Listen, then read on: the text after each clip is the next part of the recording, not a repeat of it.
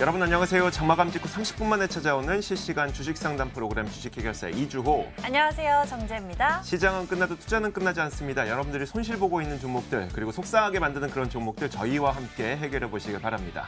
네, 오늘 또 시작은 쉬어갑니다. 하지만 이 와중에 내 종목의 쉼은 하루 이틀이 아니다. 이렇게 가슴 아프이 가슴 아리 하고 계신 분들은요. 오늘 저희와 함께 하시면서 꼭 고민 종목에 대해서 풀어가시면 좋을 것 같습니다. 지금 바로 여러분들의 고민 종목들 저희에게 보내주시면 되는데요. 02786-1073번 무료 상담 전화번호가 열려 있고요. 문자 번호는 1668-4917번입니다. 종목명, 매수가, 비중 모두 적어서 보내주시면 저희가 여러분들의 고민 진단 도와드리겠습니다. 자 오늘이 선물 옵션 동시 만기일 우리가 흔히 얘기해서 내 마녀의 날이었었잖아요. 네. 사실 장 출발할 때 좀 불안했어요. 그러다가 다행히도 프로그램 순 매도가 순 매수로 장 막판에 좀 변하더라고요. 음. 그러면서 시장은 좀 안정적인 흐름을 이어갔는데 시장은 안정적이나 내 종목은 안정적이지 않다. 전혀 안정적이지 않다 싶으신 분들 혼자 고민하지 마시고요. 지금부터 저희가 상담을 접수 받습니다. 지금부터 받는 것에 한해서 저희가 상담을 도와드리니까 바로 전화와 전화 주시고 또 문자를 보내주시길 바라겠습니다. 자 오늘도 함께 출발해 보도록 하죠. 주식 해결사 시작합니다.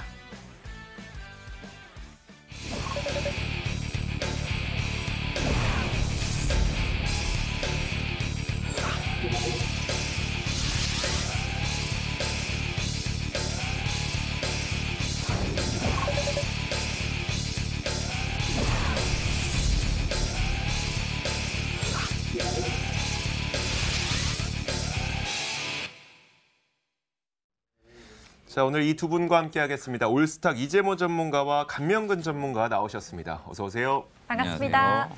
자 마감 동향부터 한번 정리해 보도록 하죠. 이재모 전문가님 오늘 어땠습니까? 네, 오늘 뭐 앞서 잘 설명해 주셨는데요. 그 오늘 코스피 코스닥 시장에 대해서 얘기를 좀 드리게 되면은 일단은 코스피 같은 경우는 일단 이틀 연속으로 조금 쉬어가는 흐름을 조금 보였다라고 보는 게 딱 맞을 것 같고요. 어, 어제 제가 이제 말씀드렸던 것이 오늘 이제 선물 옵션 동시 만기일이기 때문에 어, 지금 예상되고 있는 시점으로는 프로그램 매수 우위가 예상된다라고 말씀 어제 드렸었습니다. 그리고 오늘은 일단은 장은 시작을 하면서 어, 예상과는 좀 다르게 코스피는 좀 크게 떨어졌었죠. 변동성이 확실하게 있는 날을 그런 걸 좀 보여주었다고 보였는데요.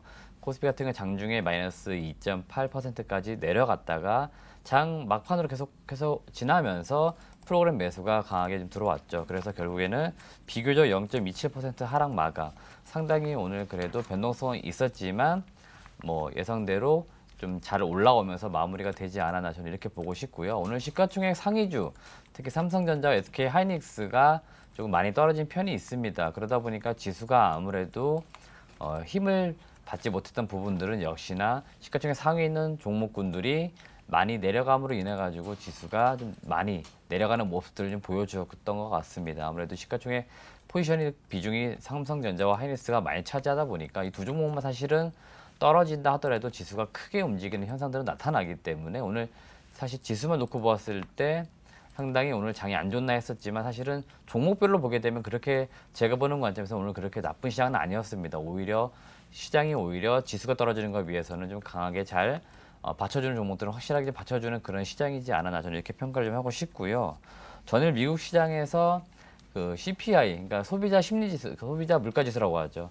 미 연준 같은 경우는 금리를 결정함에 있어가지고 결국에는 이 물가 상승률이 상당히 중요할 수밖에 없는데 지금 이게 매우 안 좋게 지금 나오고 있습니다. 전월 대비했을 때 하락하는 흐름으로 나오고 있다 보니까 계속해서 지금 미국 금리 인하에 대한 이런 의견들이 더 강하게 지금 나오고 있습니다. 그렇기 때문에 이 단기적으로 증시의 금리 인하가 좀 유동성 장세에 대한 기대감으로 호재로 작용하는 경우들이 많이 있었기 때문에 아무래도 국내 증시가 오늘까지는 좀 쉬어가지만 차후 이번 달로 가면서 크게 좀 반등하는 흐름들은 좀 나오지 않을까. 뭐 그래도 뭐 상승에 대한 제한폭은 있겠습니다만 그래도 시장 자체로 볼 때 오늘 코스피는 비교적 잘 선방된 하루였다고 말씀을 드리겠습니다. 코스닥 시간도 말씀을 드리겠습니다. 코스닥은 뭐 오늘 그래도 비교적 코스피 대비했을 때는 분위기는 좋았습니다. 뭐 장중 한때 이제 마이너스로 전환되긴 했었지만 어, 강보합 수준에서 계속적으로 유지가 됐었고요. 장 막판까지도 강보합에서 꾸준하게 잘 마무리가 되었고 1726선에 마무리가 되었습니다.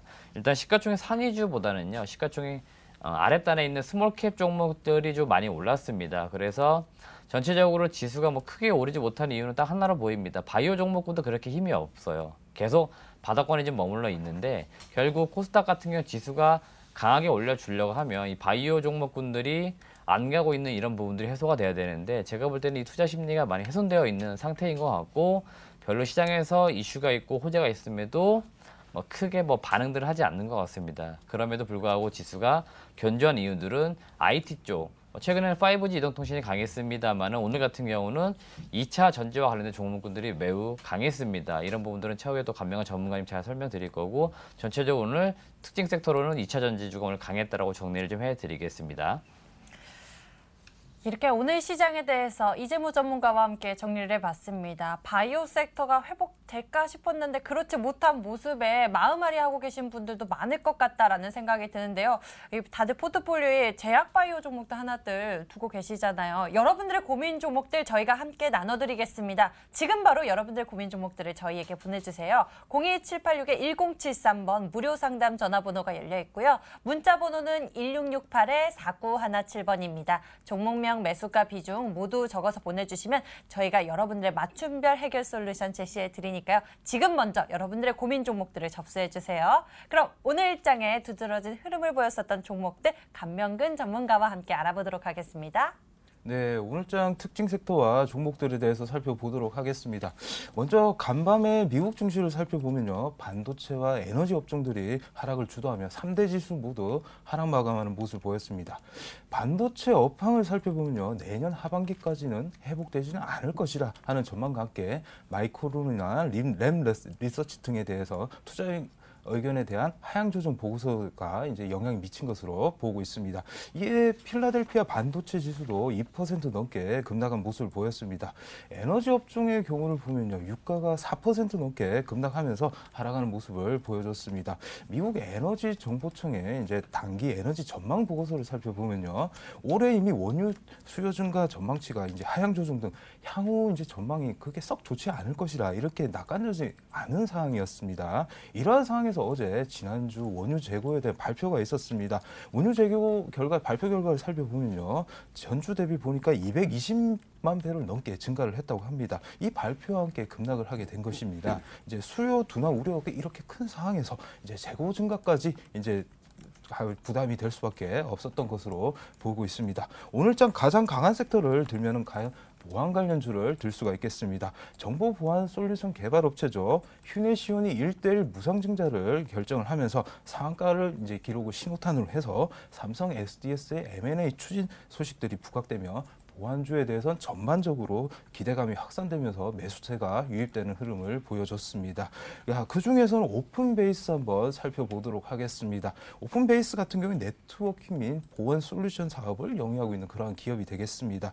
얼마 전에 삼성 SDS 피인수설 관련해가지고 얘기가 좀 있었습니다. 과거 이제 삼성 SDS의 자체 개발 솔루션을 어, 납품한 실적이 있었다 하는 게 뭐 주요 이유라고 뭐 꼽고는 있겠습니다만은 그리고 삼성 SDS는 그 사실에 대해서는 지금 현재로서는 부정을 하고 있는 모습입니다. 그렇지만 주가는 지난 화요일에 상한가를 기록하였고요. 이후 계속해서 급등을 하고 있는 그런 모습을 보여주고 있습니다. 오늘도 지금 현재 15.24% 상승한 39,970원에 마감을 하는 모습입니다. 아, 그리고 어느 정도 이제 불확실성을 떨쳐버린 전기차 관련주도 흐름이 좋았습니다. 정부에서는 이제 내년부터죠. 이제 시행되는 저공해차 보급 목표제 실효성 강화 방안을 이달 중으로 확정을 한다고 합니다. 이에 따라서 친환경차 제조나 이제 판매 의무를 강화 정책으로 내놓게 되겠으며 거기에 따른 전기차 시장에 따라서 이제 기대감이 높은 상황입니다. 아울러 얼마 전이죠. 이제 ESS 화재 조사 발표로 이제 전기차 배터리주 관련 같은 경우에는 어느 정도 불확실성이 해소되었다는 점도 긍정적으로 작용된 것으로 판단을 하고 있습니다. 자, 유럽에서 보면요. 녹색당이 지금 돌풍을 일으키고 있죠. 그러면서 친환경차에 대해서 이제 관심이 좀 높아, 전체적으로 높아지고 있고요. 중국에서도 보면은 전기차 의무 판매제가 도입되면서 내년 같은 경우 목표치를 12%까지 올려 잡, 높이기로 했습니다. 다시 한번 전기차 관련 주에 대해서 는 주목을 해보아야 될 것으로 보고 있습니다. 자, 수많은 전기차 업종 중에서 살펴볼 종목은 오늘은 상합 프론테크가 되겠습니다. 상합 프론테크는 이제 불소 수지를 기반으로 한 이제 배터리나 가전 의료기기 등에 이제 공급하고 있는 그러한 기업입니다. 특히 2차 전지 핵심 부품으로 이제 분류가 되고 있습니다. 게스킷을 국내에서 삼성 SDI에 독점적으로 공급하고 있는 그러한 기업이기도 합니다. 아, 지난 3월 달에 이제 급등을 했습니다. 그런 이후에 두 달 넘게 조정을 받는 모습을 보였는데 최근 들어 다시 반등이 나오며 무섭게 상승하고 있는 모습을 보여주고 있습니다. 오늘장 9.15% 상승한 17,900원에 마감하는 모습입니다. 자, 마지막으로 개별 종목들 한번 살펴보도록 하죠. 일진 다이아 같은 경우는 710억 원 규모의 이제 유상증자 결정으로 6.45% 하락한 27,550원에 마감하는 모습을 보였고요. 디알텍이나 모비스 같은 경우에는 정부의 방사선 사업 직중 육성 방안에 대한 수혜 기대감에 각각 상한가와 27% 넘게 급등하는 모습을 보였습니다. 그리고 앞타바이오 같은 경우는 어제 신규 상장을 한 종목이죠.